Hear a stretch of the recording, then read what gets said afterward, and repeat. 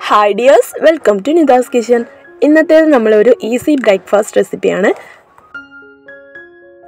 വളരെ കുറഞ്ഞ ചേരുവകൾ കൊണ്ട് രാവിലെ നമുക്ക് പെട്ടെന്ന് റെഡിയാക്കി എടുക്കാൻ പറ്റിയ ഒരു ഐറ്റമാണ് കേട്ടോ അതുപോലെ തന്നെ ഇതിന്റെ കൂടെ പ്രത്യേകിച്ച് കറികളുടെ ഒന്നും ആവശ്യമില്ല.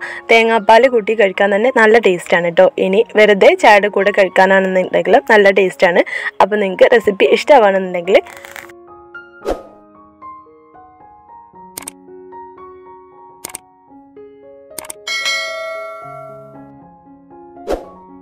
ആദ്യം തന്നെ മിക്സിയുടെ ജാറിലേക്ക് അര കപ്പ് ചോറാണ് ചേർത്ത് കൊടുക്കുന്നത്. ചോറിന് പകരമായിട്ട് നിങ്ങൾക്ക് വെളുത്ത അവലുണ്ടെങ്കിൽ അത് ചേർത്ത് കൊടുക്കാവുന്നതാണ്. ഇനി അതിലേക്ക് അര കപ്പ് തേങ്ങ ചിരവിയത് കൂടെ ചേർത്ത് കൊടുക്കുക ഇനി ഇതിലേക്ക് സെയിം അളവിൽ വെള്ളം കൂടെ ചേർത്തിട്ട് നമുക്ക് നന്നായിട്ടൊന്ന് അരച്ചെടുക്കാം.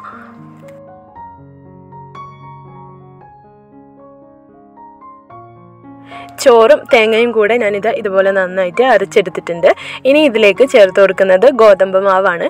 അപ്പോൾ ഇതിലേക്ക് ഒന്നര കപ്പ് ഗോതമ്പ് പൊടിയാണ് കേട്ടോ ഞാൻ ചേർത്ത് കൊടുക്കുന്നത്. നിങ്ങൾക്ക് എത്രത്തോളം ക്വാണ്ടിറ്റി വേണോ അതിനനുസരിച്ച് പൊടി എടുക്കാവുന്നതാണ്. ഇതിലേക്ക് ആവശ്യത്തിനുള്ള ഉപ്പ് ചേർത്ത് കൊടുക്കുക അതിന്റെ കൂടെ തന്നെ ഒരല്പം പഞ്ചസാര ചേർത്ത് കൊടുക്കാം കേട്ടോ. ഇതുപോലെ ഒരു അര ടീസ്പൂണൊക്കെ ചേർത്ത് കൊടുത്താൽ മതിയാവും. ശേഷം ഇതിലേക്ക് ഒരു കപ്പ് വെള്ളം കൂടെ ചേർത്തിട്ട് ഒന്ന് അടിച്ചെടുക്കുക ജസ്റ്റ് ഒന്ന് പൾസ് ചെയ്തെടുത്താൽ മാത്രം മതി. ഒരുപാട് സമയം ഇട്ട് അരച്ചെടുക്കരുത് കേട്ടോ അപ്പോൾ ഇതാ ബാറ്ററി ഞാനിതാ ഇതുപോലെ പൾസ് ചെയ്തെടുത്തിട്ടുണ്ട്. കട്ടകളൊന്നും ഇല്ലാത്ത രീതിയിൽ ഒന്ന് മിക്സായി കിട്ടിയാൽ മാത്രം മതി. ഇതിലേക്കൊരു കാൽ ടീസ്പൂണോളം ബേക്കിംഗ് സോഡ കൂടെ ചേർത്ത് കൊടുത്തിട്ട് നന്നായിട്ടൊന്ന് മിക്സാക്കി എടുക്കാം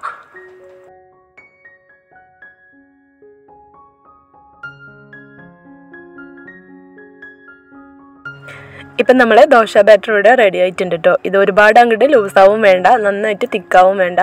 നമ്മൾ സാധാരണ ഇഡ്ഡലി മാവൊക്കെ റെഡിയാക്കുന്ന രീതിയിൽ വേണം ഇത് റെഡിയാക്കി എടുക്കാനായിട്ട്. ഇനി നമുക്കിത് ചുട്ടെടുക്കാം. അതിനായിട്ട് ഞാനിതാ ഒരു പാന് ചൂടാക്കി എടുത്തിട്ടുണ്ട്. ഇതിലേക്ക് ഒരു തവി മാവ് ഒഴിച്ചിട്ട് അതിന്റെ സെന്റർ ഭാഗം മാത്രം ജസ്റ്റ് ഇതുപോലെ ഒന്ന് പരത്തി കൊടുക്കുക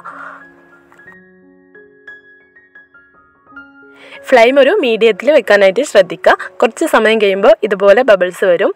മുഴുവനായിട്ട് ഇതുപോലെ ഹോൾസ് വന്നു കഴിഞ്ഞാൽ നമുക്കിത് അടച്ചു വെച്ച് കൊടുക്കാം. ഇത് റെഡിയാക്കി എടുക്കുന്ന സമയത്ത് ഫ്ലെയിം എപ്പോഴും ശ്രദ്ധിക്കണം കേട്ടോ ഒരുപാട് അങ്ങ് കൂട്ടി വെച്ച് കൊടുത്തു കഴിഞ്ഞാൽ ദോശയുടെ അടിഭാഗം പെട്ടെന്ന് കരിഞ്ഞു പോകും മുകൾ ഭാഗം കുക്കായി കിട്ടാതിരിക്കും. അപ്പോൾ ഒരു മീഡിയം ഫ്ലെയിമിൽ വെച്ചിട്ട് കുക്ക് ചെയ്യുക ഇപ്പോൾ ഇതാ നമ്മുടെ ആദ്യം ഒഴിച്ചു കൊടുത്ത ദോശയുടെ റെഡി ആയിട്ടുണ്ട്. ഇനി ഇതിന്റെ മുകളിലേക്ക് ഒരൽപ്പം നെയ്യോ അല്ലെങ്കിൽ ഓയിലോ ചേർത്ത് കൊടുക്കാവുന്നതാണ്. ഇഷ്ടമാണെങ്കിൽ മാത്രം കേട്ടോ ഇല്ലാന്നുണ്ടെങ്കിൽ സ്കിപ്പ് ചെയ്യുക ഗോതമ്പ് പൊടി വെച്ചിട്ട് നമ്മൾ പല രീതിയിൽ ദോശകൾ റെഡിയാക്കി എടുക്കാറുണ്ട്. അപ്പോൾ രണ്ട് മൂന്ന് ഐറ്റം ഞാൻ ഇതിന് മുമ്പ് അപ്ലോഡ് ചെയ്തിട്ടുണ്ട്.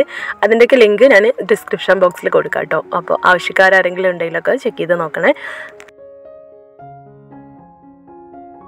ബാക്കിയുള്ള മാവ് മുഴുവനും ഞാൻ ഇതാ ഇതുപോലെ തന്നെ ചുട്ടെടുക്കുന്നുണ്ട്. ചോറും തേങ്ങയും എല്ലാം കൂട്ടി അരച്ച് റെഡിയാക്കി എടുക്കുന്നതുകൊണ്ട് തന്നെ നല്ല സോഫ്റ്റ് ആയിട്ടുള്ള ദോശയാണ് കേട്ടോ ഇത്. ഇതിന്റെ അടിഭാഗമൊന്നും ഒട്ടും കരിഞ്ഞു പോവാതെ നല്ല പെർഫെക്റ്റ് ആയിട്ട് തന്നെ കിട്ടിയിട്ടുണ്ട്. ഇൻഷാല്ല ഇനി അടുത്ത നല്ലൊരു റെസിപ്പി ആയിട്ട് നമുക്ക് വീണ്ടും കാണാം. അതുവരേക്കും ബായ്